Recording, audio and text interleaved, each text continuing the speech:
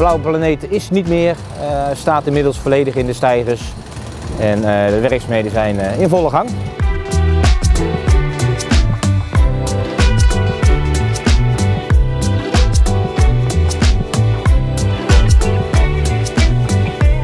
Hier de bijzonderheid is, is dat wij geen openbare grond in gebruik mogen nemen. En dat eigenlijk het openbare leven fulltime door moet gaan.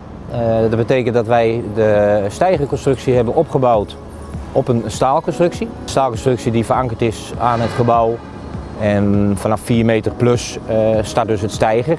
Zoals je op de achtergrond ziet hebben we nu een, een mooie veilige situatie waarbij de voetgangers, fietsers veilig onder het stijger door kunnen.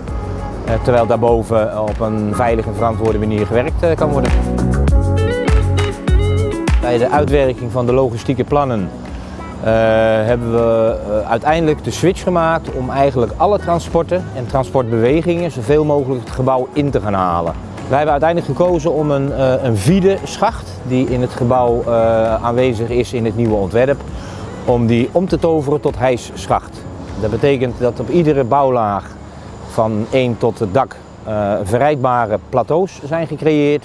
En dat geeft gewoon een stukje rust en veiligheid.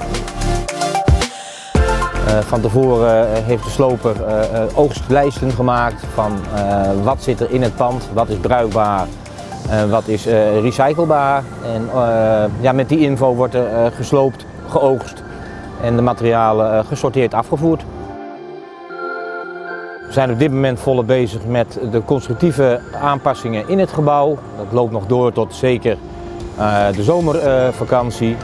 Komende weken wordt er een opstart gemaakt met de werkzaamheden voor de nieuwe gevel.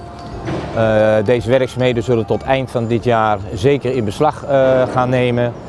En rond de zomervakantie starten we met de installatie technische werkzaamheden in het, in het gebouw. Belangrijkste punten voor dit binnenstedelijk project veiligheid naar de omgeving, absoluut nummer 1. Uh, eh, logistiek en de transportplanningen. Uh, daar valt of staat het allemaal mee hier.